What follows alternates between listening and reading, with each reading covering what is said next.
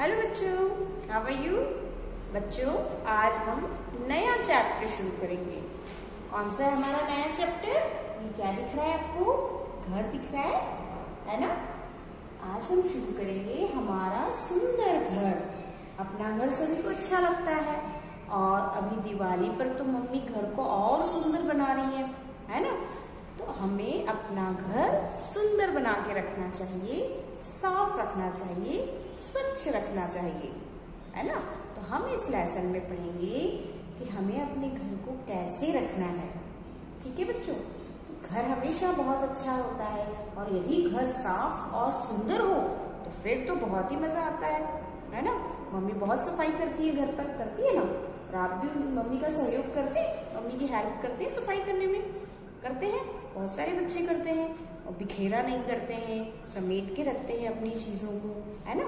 और बहुत सारी घर में सफ़ाई करने के लिए बहुत सारी व्यवस्थाएँ रखते हैं, बहुत सारा डस्टबिन रखते हैं कहीं कहीं, है ना? ताकि हम गंदगी ना होने दें घर में। मम्मी सफ़ाई करती है तो हम घर को साफ़ रखें। तो यहाँ पर इस लेसन में भी हमारा सुंदर घर, हमारा घर कैसा होना चाहिए, हमें अपने घर में साफ़ सफ़ाई कैसे रखनी चाहिए, है ना? तो इसी के बारे में इसमें बताया है। अब ये लेसन पढ़ने के बाद आपको भी अपने घर को वैसा ही रखना है, एकदम साफ़ और सुंदर। तभी तो अपना घर सुंदर घर कहलाएगा, है ना? तो बच्चों, हम इस लेसन में पढ़ेंगे घर को हम कैसे अच्छा बना सकते हैं, साफ़ रख सकते हैं, स्वच्छ रख सकते हैं। क्योंकि साफ़ सफ़ाई और स्वच्छता से ही हम बीमार नहीं होंगे।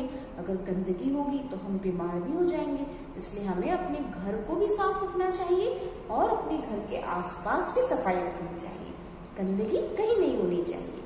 तभी हमारा घर भी सुंदर होगा और हमारे आसपास भी सुंदरता रहेगी। है ना बच्चों? तो हम इस लेसन में पढ़ेंगे हमारा सुंदर घर।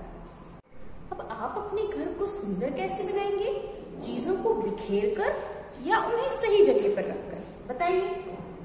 चीज़ों को सही जगह पर रखकर। यदि हम सभी चीज़ों को, जहाँ मम्मी ने बताया है कि बैग को यहाँ रखना है शूज़ यहाँ रखने हैं, आपको यूनिफॉर्म यहाँ रखनी है, कपड़े यहाँ रखने हैं, आपके खिलौने यहाँ रखना है तो आप यदि सभी चीज़ों को सही जगह पर रखेंगे तो आपका घर सुंदर बनेगा, है ना? और और हमें घर को, घर की साफ़ सफ़ाई के लिए किन बातों का ध्यान रखना चाहिए?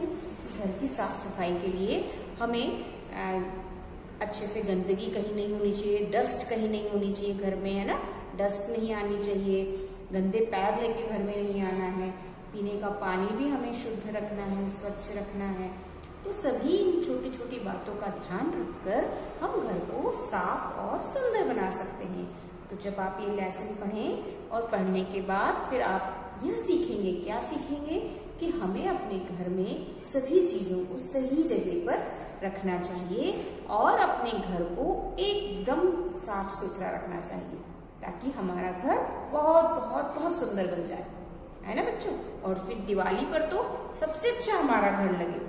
मम्मी दिवाली पर घर को कितना सजाती है, बहुत सारे फूल लगाती हैं, रंगोली बनाती हैं दीवारों को पेंट करवाती हैं कर्टन्स नए नए हो जाते हैं बेडशीट्स नई हो जाती हैं, है ना? बहुत सारी चीज़ें नई नई करके मम्मा एकदम घर को सजाती हैं, सुंदर बनाती हैं घर को।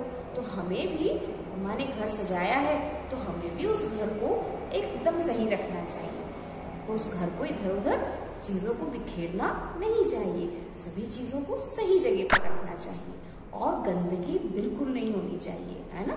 तो इस दिवाली पर हम सभी अपने अपने घर को कैसा बनाएँगे? सुंदर घर बनाएँगे। एकदम सुंदर घर। ठीक है बच्चों? तो बच्चों, कल हम इस लेसन को पढ़ेंगे, हमारा सुंदर घर। ठीक है? अपनी अपनी बुक को अपने सामने रखना जब मैं इस लेसन को रीड करूँ। ठीक है बच्चों?